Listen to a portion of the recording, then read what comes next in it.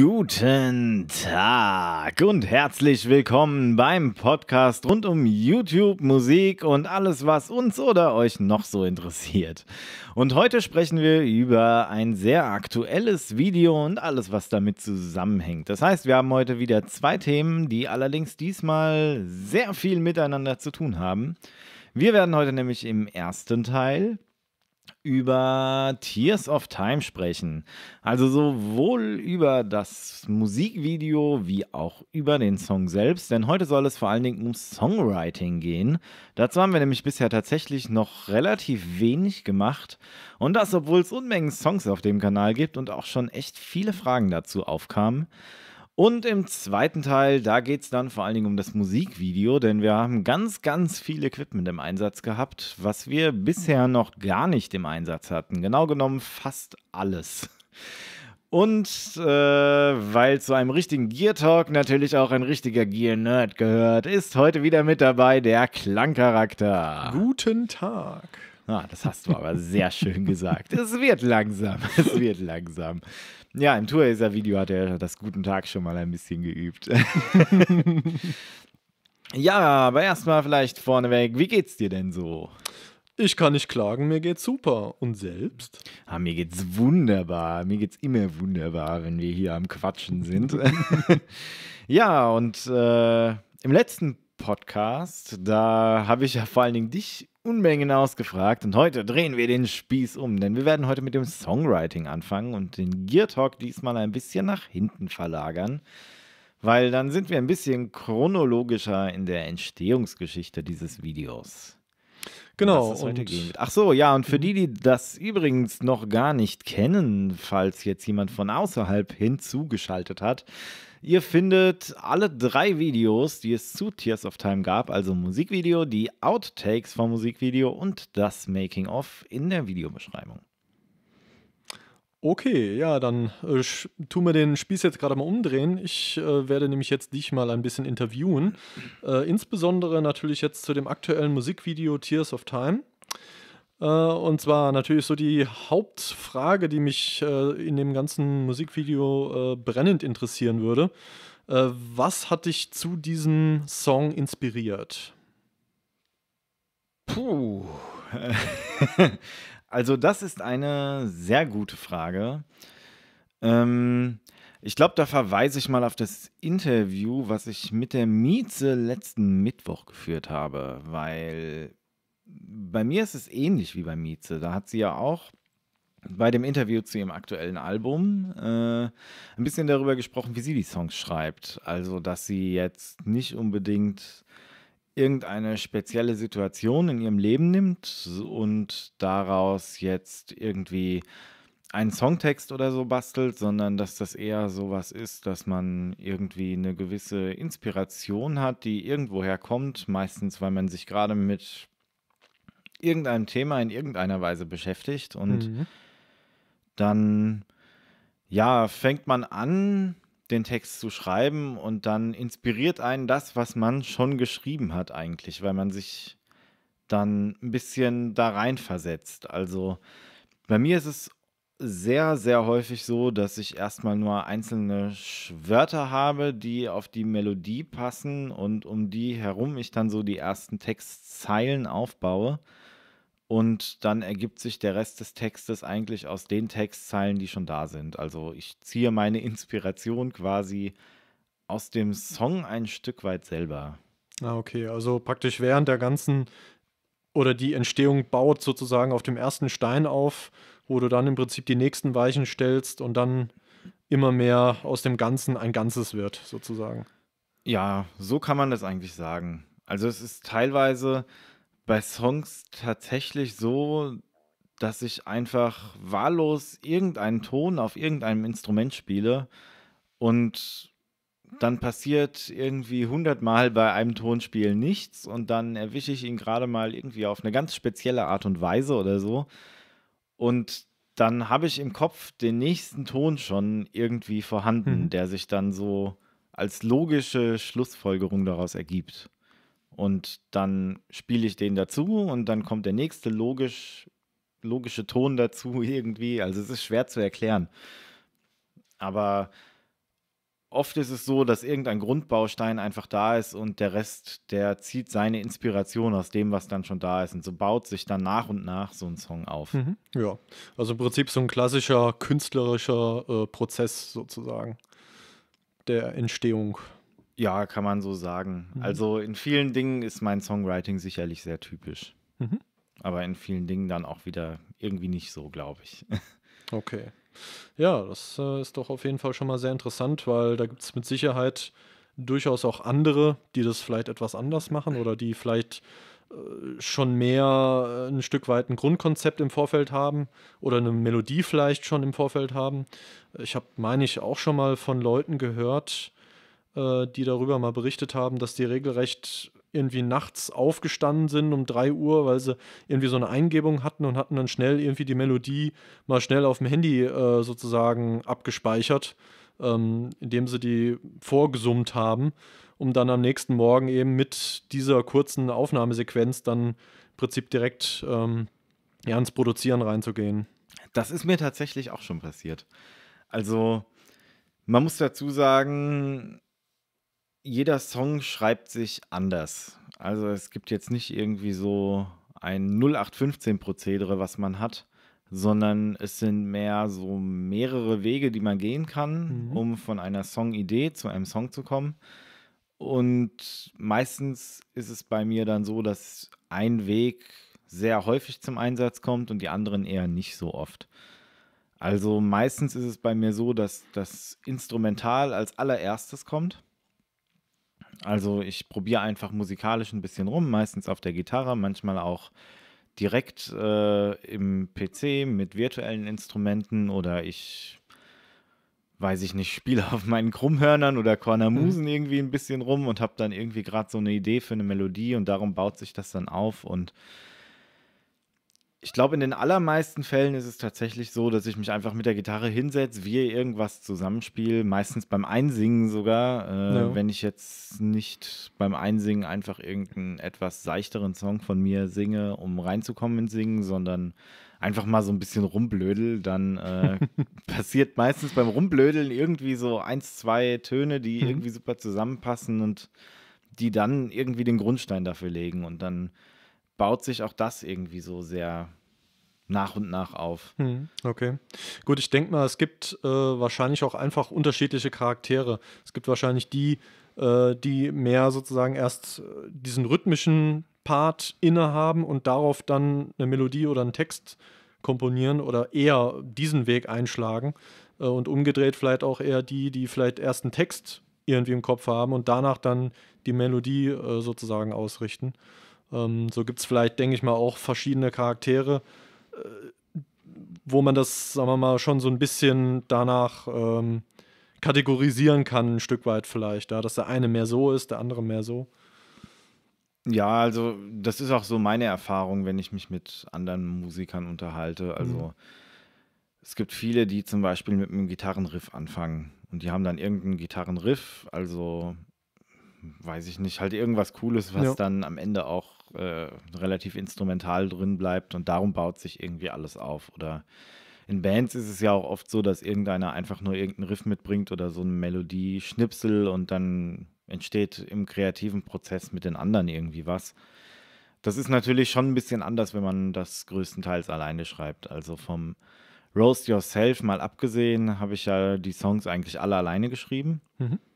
Wobei Mieze natürlich immer auch ein Stück weit bei den Songs, wo sie dann mitarbeitet, auch ein bisschen Einfluss drauf hat, weil sie natürlich auch ihren eigenen Gesangsstil ein Stück weit hat und dann auch sich oft direkt bei der Aufnahme so Dinge ergeben, wo man dann merkt, dass das anders halt einfach besser mit ihr funktioniert, weil das einfach dann vielleicht doch ein bisschen mehr zu ihrem Wesen auch passt, hm, wenn man da ja. ein bisschen was noch umstellt oder so.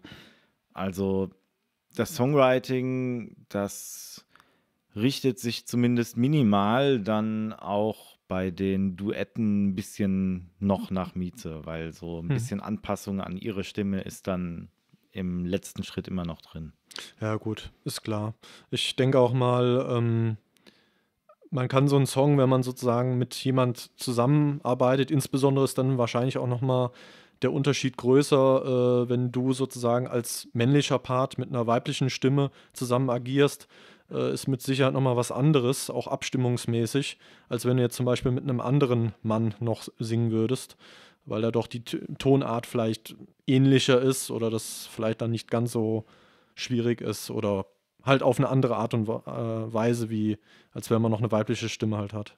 Ja, wobei ich würde, glaube ich, sogar schon fast eher sagen, dass das eher eine, ich sag mal, dynamische Frage ist, weil mhm.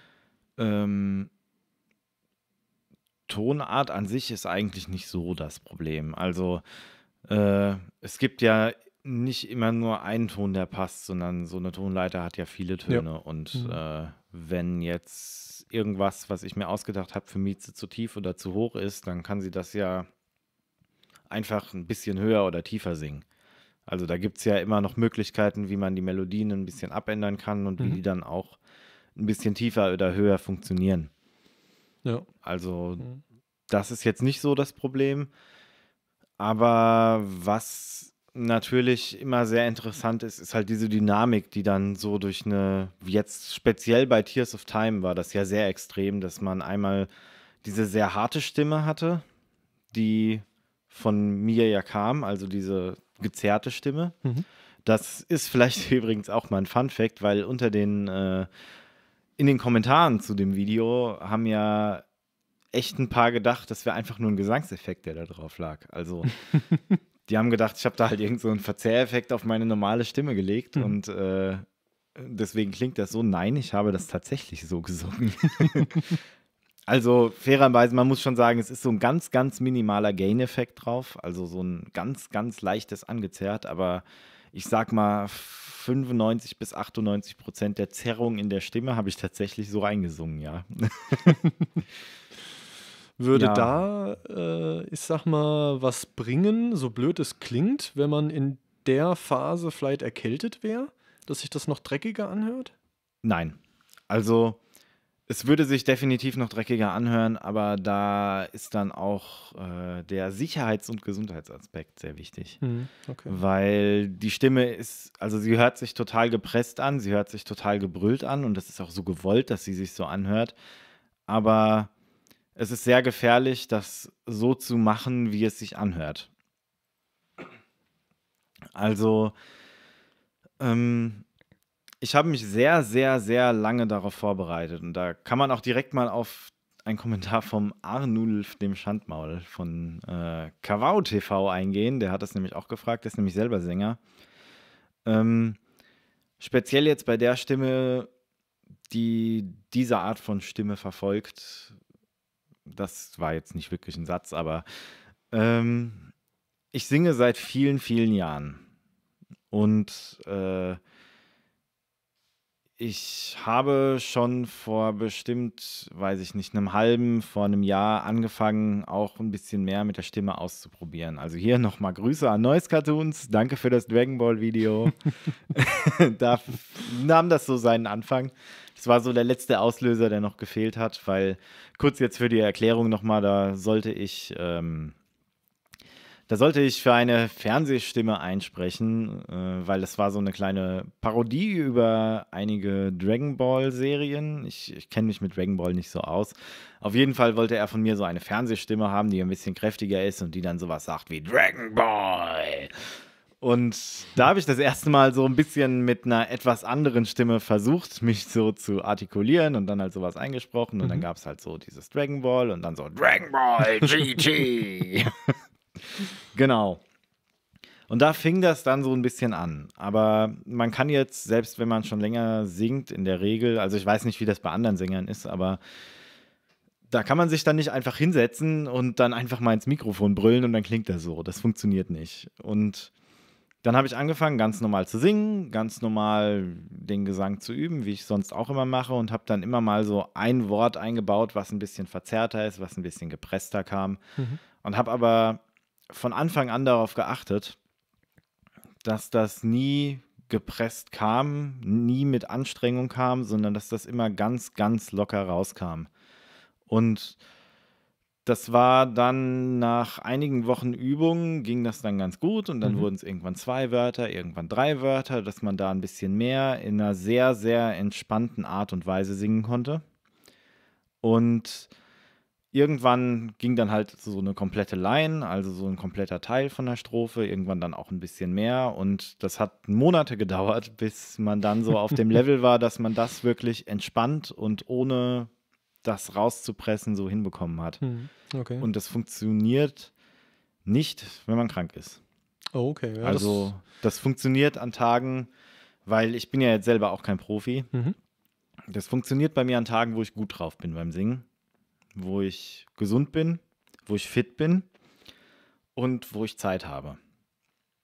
Weil, also normalerweise, wenn ich mich einsinge, brauche ich nicht so lange. Ich spiele halt etwas seichtere Lieder von Mhm. mir, die jetzt nicht so anspruchsvoll sind mit Singen, nicht so anstrengend sind mit Singen. Die spiele ich auf halbem Level erstmal so durch und singe dazu ein bisschen, um mich warm zu machen. Und so nach, weiß ich nicht, ein paar Minuten ist man dann warm und kann normal das singen, was man sonst auch singt. Und bei dem Gesang ist es dann schon so, dass ich vorher eine halbe bis eine Dreiviertelstunde brauche, bis ich wirklich drin bin. Also erstmal eine Mhm. halbe Stunde warm machen mit normalem Singen und dann erstmal auch so, wie man es halt monatelang geübt hat. Mal ein Wort, mal zwei Wörter, mal eine ganze Line und irgendwann ist man Ja. dann drin. Mhm. Dann ist die Stimme warm, dann ist die Stimme darauf eingestellt und dann kann man das eine Zeit lang machen, ohne dass es anstrengt. Mhm. Ja, also ich sag mal, es ist ähm, mit Sicherheit ähm, von daher mal recht interessant, weil äh, ich denke mal, jemand, der sich damit noch nie auseinandergesetzt hat und selbst mal irgendwie eine Erkältung hatte und äh, ich meine, man hört ja seine Stimme dann, wenn, wenn die erkältet ist und denkt sich dann vielleicht, boah, das hört sich voll krass an, äh, wie jetzt irgendwie bei, bei irgendeinem Metal-Stück oder so, richtig cool. Ja. Aber dass das im Endeffekt dann im Prinzip auch gesundheitsschädlich sein kann, wenn man dann mit dieser Stimme und dann vielleicht auch noch mit zu viel Energie dann versucht, da jetzt irgendwas aufzunehmen, dass es also auch in die, in die Hose sprichwörtlich gehen kann, äh, ist vielleicht gar nicht mal so un, äh, in, interessant für den einen oder anderen. Also, dass man da schon auch sehr drauf achten muss. Ja, also ich würde es auch jetzt keinem empfehlen, Hm, weil ja. Man macht sowas schon ein Stück weit auf eigenes Risiko und man sollte auch schon eine Zeit lang viel gesungen haben, um genau zu wissen, wo die Grenzen sind, um genau zu wissen, wenn es sich jetzt so und so im Hals anfühlt, dann fängt die Stimme an langsam zu ermüden, weil das ist jetzt meine unprofessionelle äh, Weise, wie ich da rangegangen bin. Sobald ich gemerkt habe, die Stimme fängt an zu ermüden, habe ich sofort aufgehört. Ich habe mir dann nicht gedacht, oh, komm, ein Take noch oder so, Hm, sondern okay. sofort aufgehört, Stimme eine viel Pause gegönnt, sowas nicht jeden Tag gemacht, sondern nur, wenn ich halt auch gemerkt habe, dass ich einen guten Tag habe. Und äh, ja, also empfehlen würde ich es natürlich deswegen keinem, Hm. weil man muss schon, denke ich, sich vorher sehr bewusst darüber sein, was man da tut. Ja, naja, das, das auf jeden Fall. Ja, ähm, interessant. Äh, vor allem, sagen wir mal, auch aus meiner Sicht, weil ich habe mich mit äh, Songwriting jetzt noch nie auseinandergesetzt und äh, während du die Songs schreibst, war ich nur ansatzweise mal so in kurzen Szenen mal kurz dabei und habe mal reingehört oder war mal bei dir zu einer Zeit, wo ich mal so ein bisschen, äh, ja, dir über die Schulter geschaut habe. Ähm, Ja, ja, vor allen Dingen, das ist vielleicht auch noch eine witzige Anekdote zu Tears of Time, nämlich, weil bei Mieze ist das ja auch so. Also die ist ja auch relativ häufig mal hier zum Drehen oder so und äh, die hört ja meistens auch schon, wie du auch, äh, in sehr frühe Versionen der Songs gerne mal rein, wo dann nur ein Instrumental bisher steht oder genau. Ja. irgendwas nur so provisorisch mal kurz aufgenommen ist, um zu gucken, ob es überhaupt funktioniert, bevor man sich dann die Arbeit macht, das ordentlich einzuspielen. Und gerade bei Tears of Time war es so in der frühen Version, weil es ist ja rhythmisch sehr anders. Also es ist ja jetzt nicht so typisch, Mhm. sondern da sind ja. Ja. viele rhythmische Feinheiten drin, da sind viele Instrumente drin, die für sich genommen eigentlich auch eine ganz andere Rhythmik haben und die nur im Zusammenspiel funktionieren. Also vielleicht weiß ich nicht, ob das jemanden interessiert hier aus unserer Zuhörerschaft, aber da könnte ich auch mal einen Podcast drüber machen, wo ich vielleicht einfach mal die einzelnen Stimmen von so einem Song mal aufdrösel und einfach mal so ein bisschen einen Einblick in den Aufbau von so einem Song gebe. Ich weiß nicht, vielleicht interessiert das ja jemanden. Wenn ja, dann Kommentare und so. Ihr kennt das ja. Genau, und die Anekdote, ich komme schon, ich schweife schon wieder ab, diese Podcasts sind furchtbar. äh, die Anekdote ist, dass ähm, Mieze eine Version gehört hat, wo Schlagzeug, Gitarre und Klavier schon halbwegs stand, noch nicht ganz sauber eingespielt war. Und ihr Kommentar war, das klingt, als wäre die CD stehen geblieben. Weil das eigentlich ein ziemlich gutes Beispiel dafür ist. Ähm, ich habe meistens, wenn ich eine bestimmte Instrumentenspur schreibe, schon die nächste im Kopf und wahrscheinlich meistens sogar schon noch zwei, drei weitere. Also ich schreibe immer mit unheimlich vielen Melodien und ich kann mich auch meistens beim Endmix gar nicht entscheiden, welche Melodie ich jetzt so cool finde, dass die hörbarer sein muss als die andere. Also meistens sind irgendwie vier, fünf Melodien gleichzeitig drin, mhm. die an sich für sich genommen eigentlich schon funktionieren und die einfach im Zusammenspiel mit dem Rest sehr viel werden. Und ja, ich glaube, das macht vielleicht auch so ein Stück weit meinen Stil so aus, dass ich ganz viele Melodien habe, die, die auch für sich genommen irgendwie schon ziemlich cool sind. Also für mich zumindest. Mhm. ja, gut, ich sag mal, du hast dann in dem Moment natürlich auch ein anderes Gehör äh, als jetzt Mieze, sage ich mal, die sich dann vielleicht im Vorfeld noch gar nicht damit auseinandergesetzt hat, dann bei, bei dir mal zu Besuch kommt und dann vielleicht von den ganzen Spuren nur einen Teil hört. Ja, der Rest ähm, war ja auch zu der Zeit noch nicht existent. Richtig, der war nur in ja. meinem Kopf. Und mhm. Äh, gerade bei dem Song ist es halt so extrem, weil da drei Instrumente im Zusammenspiel erst den Rhythmus mit dem Schlagzeug zusammen ergeben. Und mhm. wenn dann ein Instrument fehlt, dann fehlt eigentlich der komplette Rhythmus noch, außer man hat ihn halt schon im Kopf. Ja, ja. Und mhm.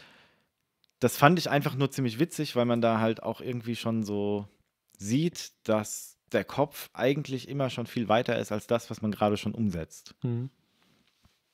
Aber ja, also das jetzt einfach nur noch mal dazu.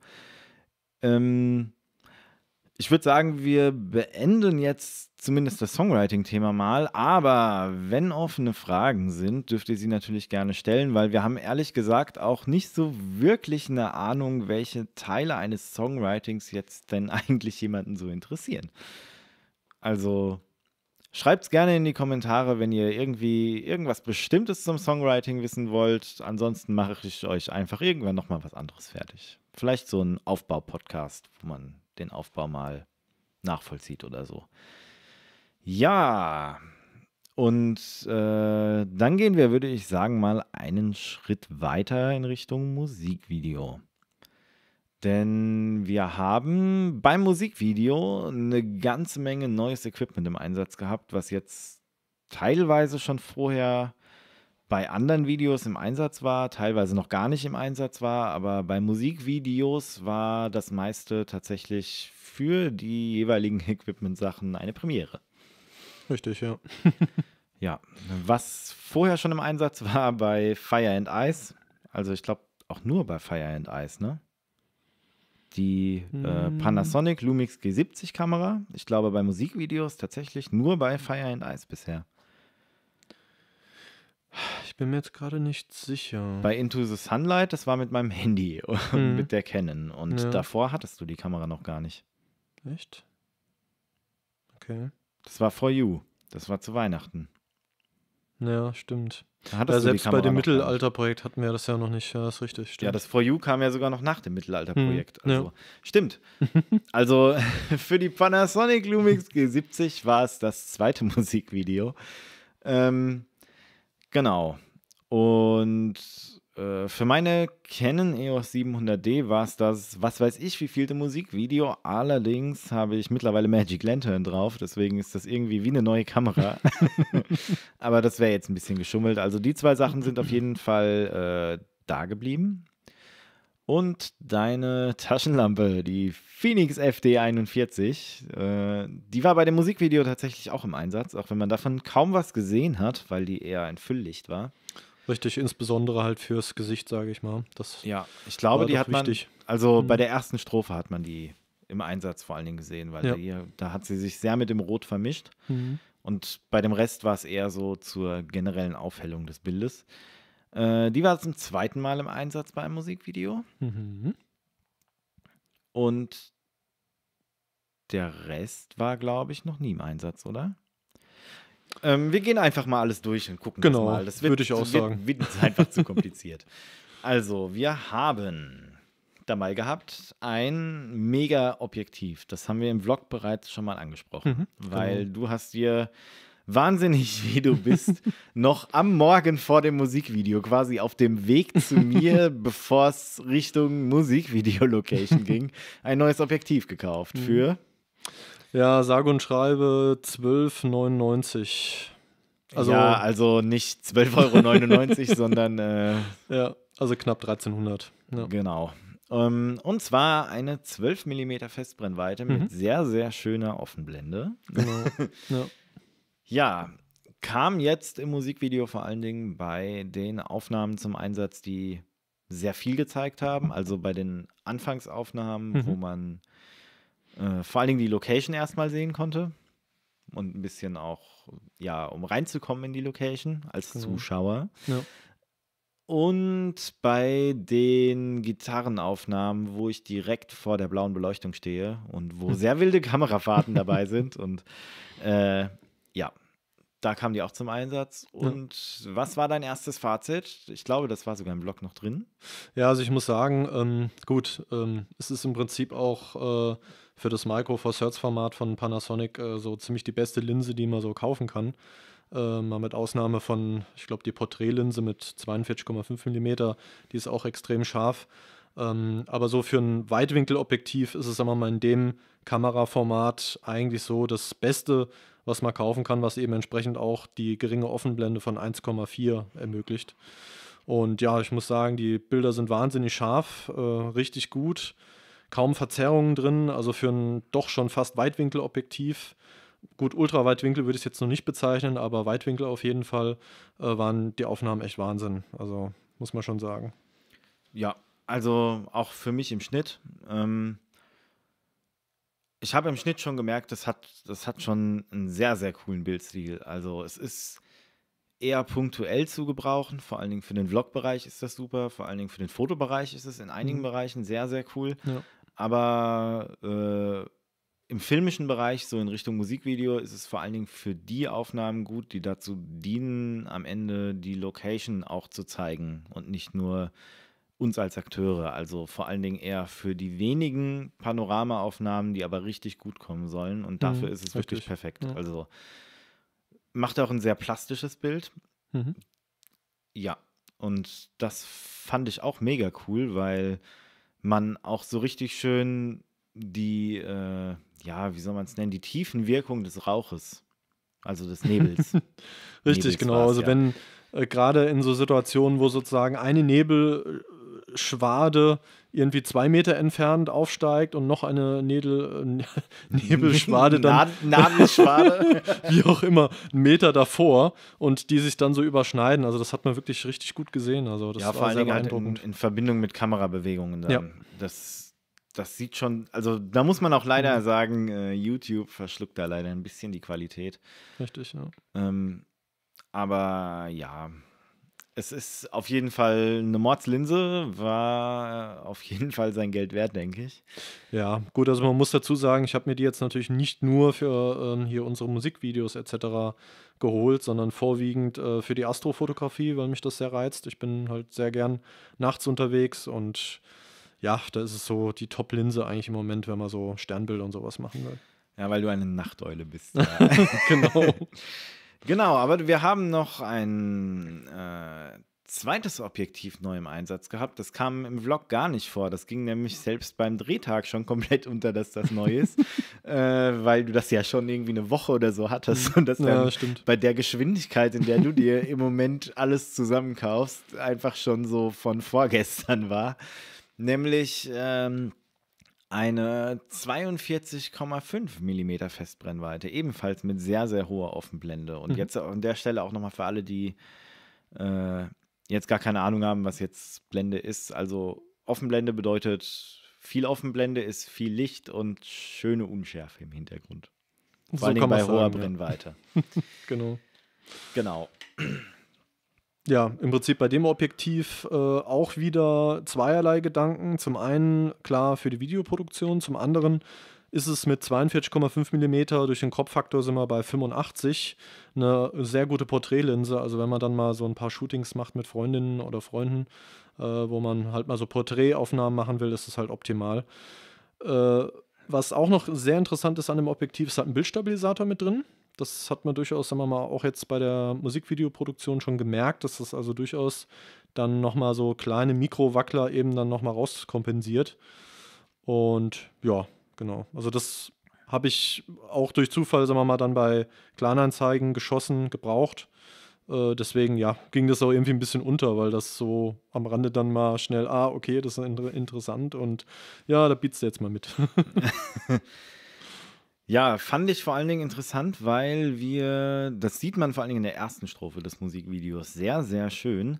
Wir haben nämlich da eine Kleinigkeit mal ausprobiert, die eine extrem coole Wirkung gemacht hat, nämlich wir haben dieses Objektiv genommen und haben die Szene der ersten Strophe mehrmals gedreht und haben dann eine andere Linse genommen, nämlich die 25 mm Linse. Das ist tatsächlich, ist das noch die ältere, die du schon vorher im Einsatz hattest oder hattest du die auch nee, ausgetauscht? Also zuerst hatte ich ja die, also die erste Linse, die ich mir überhaupt gekauft habe, das war die 25 mm 1.7, so dieses Standard äh, oder das günstigste Objektiv, was es so bei Micro Four Thirds gibt.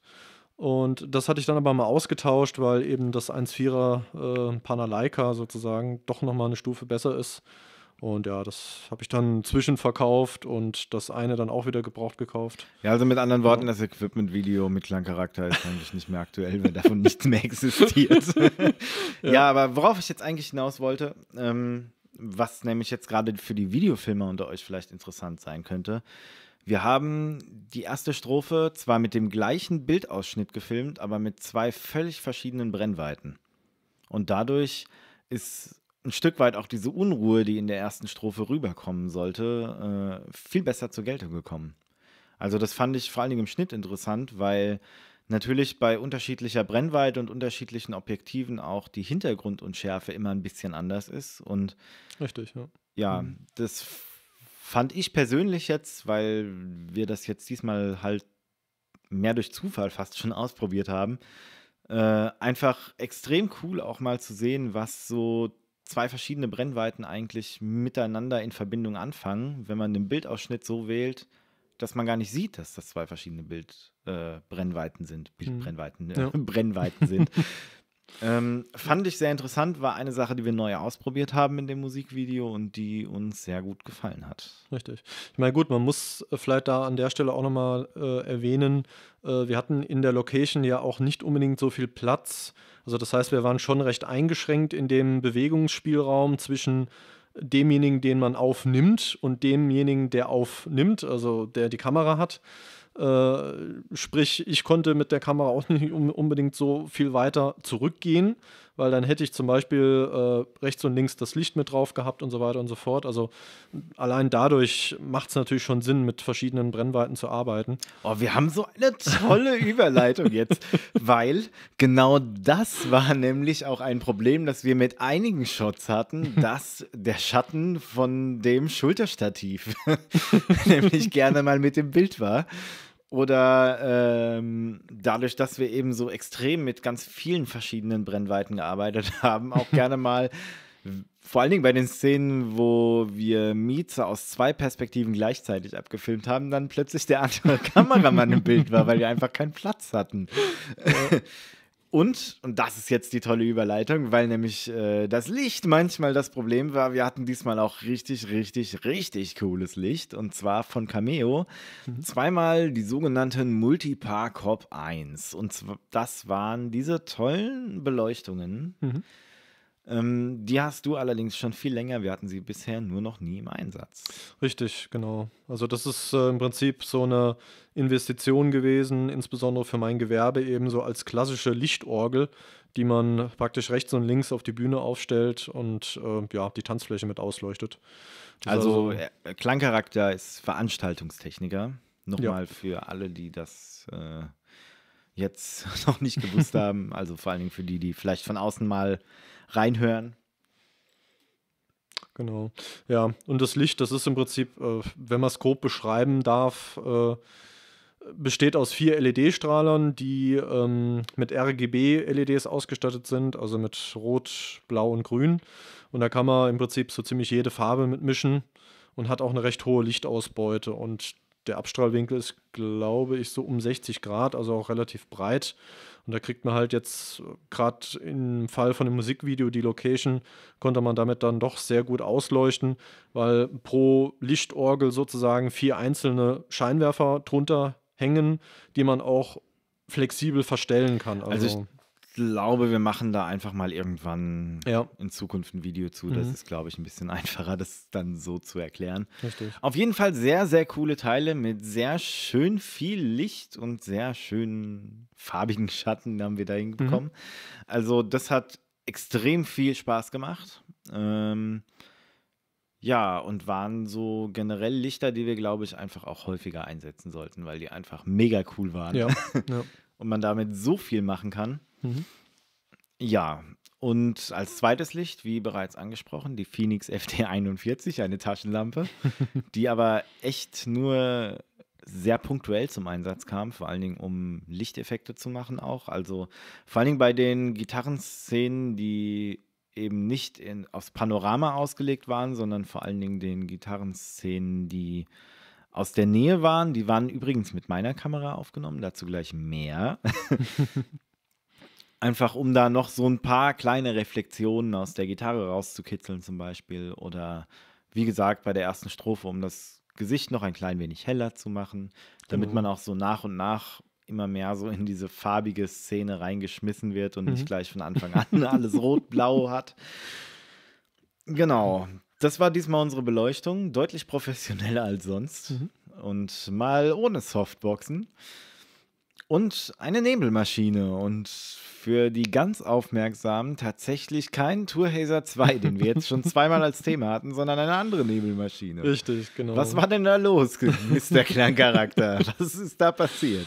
Gut, also grundsätzlich habe ich ja zwei äh, Nebelmaschinen bei mir äh, im Verleih im Einsatz. Das ist also einmal der Tourhazer 2, wo wir auch schon mal ein Video äh, sozusagen zwei über die Wartung. Videos. Oder zwei Videos. Ja, stimmt, genau. Das eine von der, von der äh, Musikmesse, das muss man auch erwähnen. Ähm, ja, ich habe mich aber bewusst äh, bei dem Musikvideo jetzt gegen den Tourhazer entschieden, weil das ein Hazer ist, der eher einen dünnen Nebel produziert und durch den Lüfter zumal auch ein Eigengeräusch entwickelt, was ich jetzt, sagen wir mal, für das Musikvideo dann auch nicht wollte, weil wir haben ja da zum Teil auch ein Stück weit ein paar Tonaufnahmen gehabt und da wäre so ein Lüftergeräusch dann auch nicht so toll gewesen.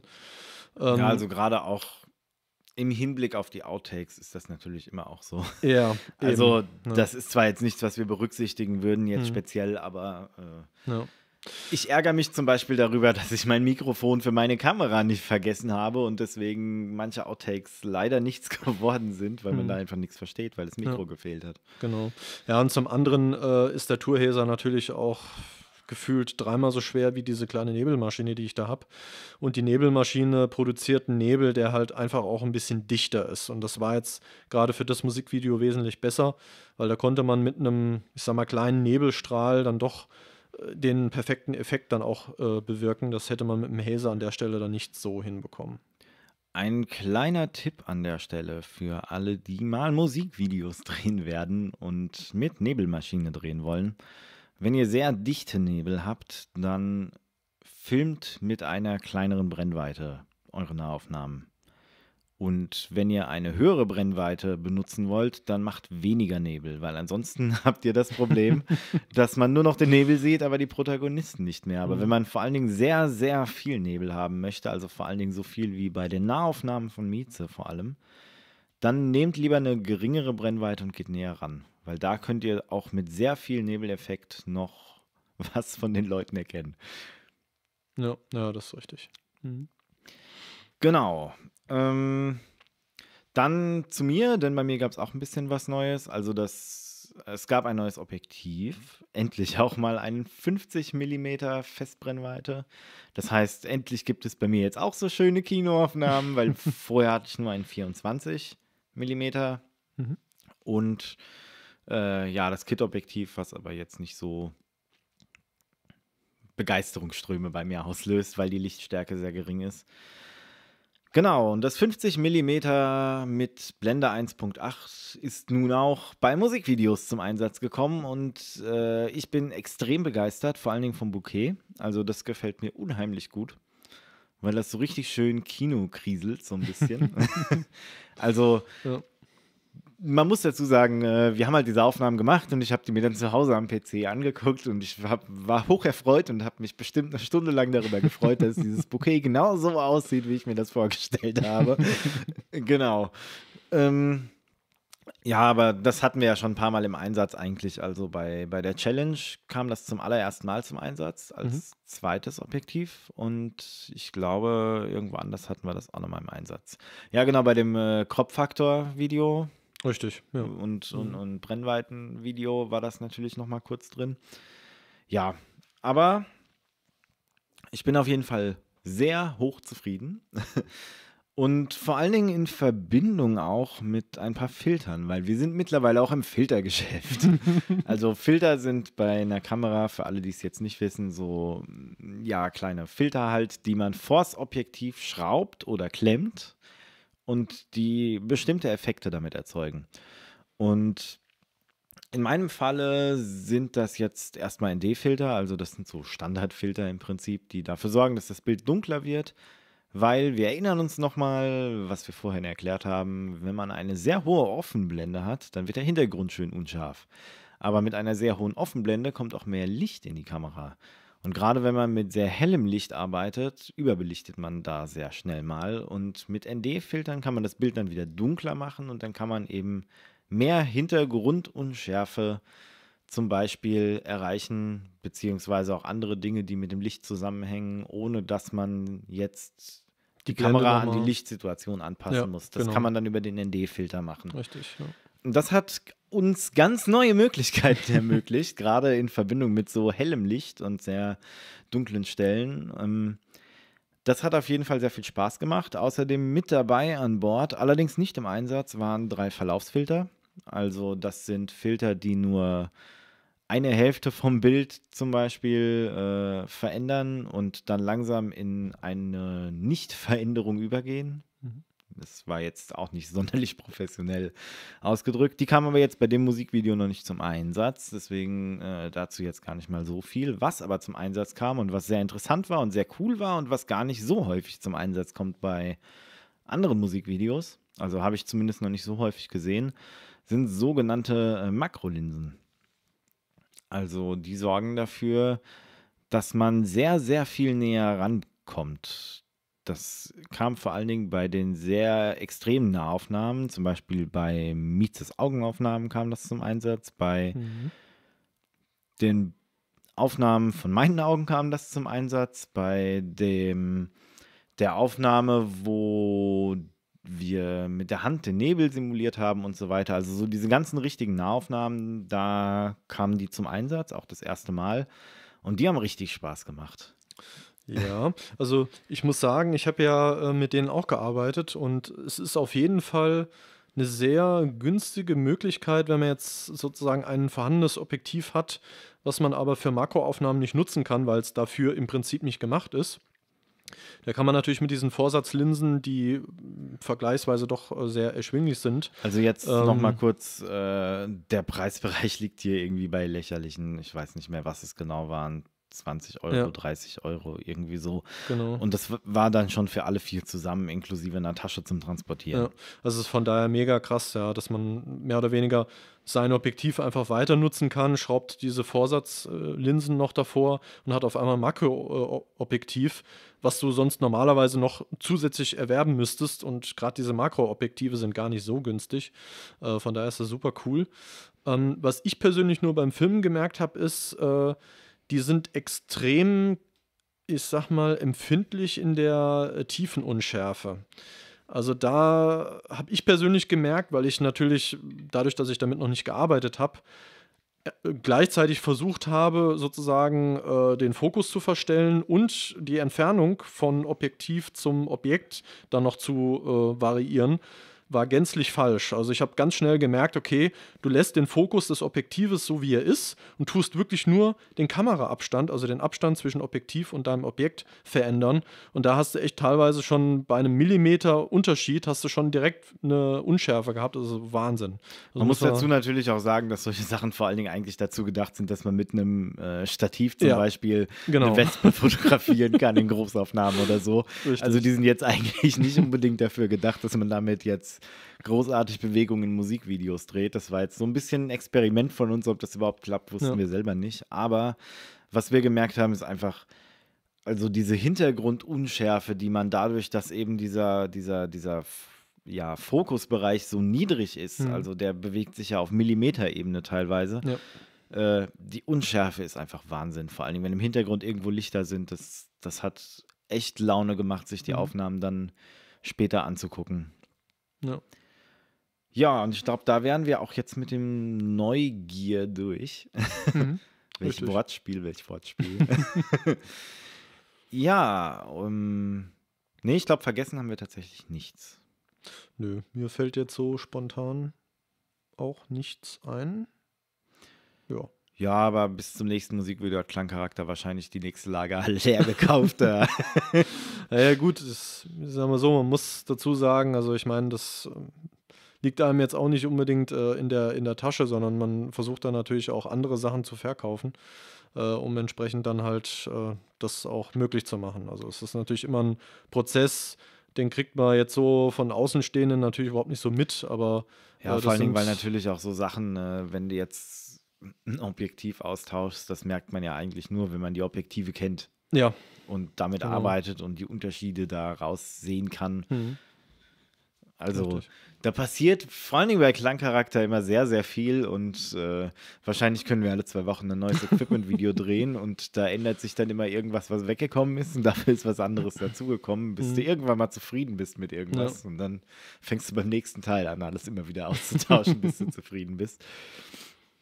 Genau, aber ja, wir sind mal gespannt, was in zwei Wochen bei ihm in der Kameratasche liegt. Oder in seinem Handtäschchen, wie wir damals im Video ja sehr schön festgestellt haben. ja, gut. Ähm, ich glaube, wir sind jetzt auch schon relativ weit in der Zeit. Ich sehe es jetzt allerdings gar nicht, weil ich mich so unprofessionell hingesetzt habe, dass ich die Zeit nicht sehen kann. Und weil der letzte Podcast noch in der äh, gleichen Aufnahme mit drin ist, gerade quasi, weil ich das einfach hinten dran gemacht habe. Deswegen keine Ahnung, wie lang der Podcast jetzt geworden ist, aber ich vermute mal, er war ähnlich lang oder fast so lang wie der davor. Scheint sich einzubürgern. Ich sag's nicht. Lasst euch überraschen. Ich lasse mich überraschen.